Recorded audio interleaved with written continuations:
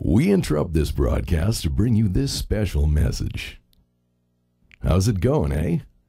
Today's movie on the Universal National Network is a classic, starring in the two comedic geniuses of North American cinema from the 20th century, Bob and Doug McKenzie. Entitled Strange Brew, it chronicles the heroic adventures of two latter day Renaissance men, or, to use the correct 20th century terminology, hosers. We give it three thumbs up.